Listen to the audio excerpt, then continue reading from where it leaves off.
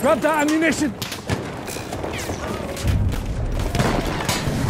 We have taken objective Edward.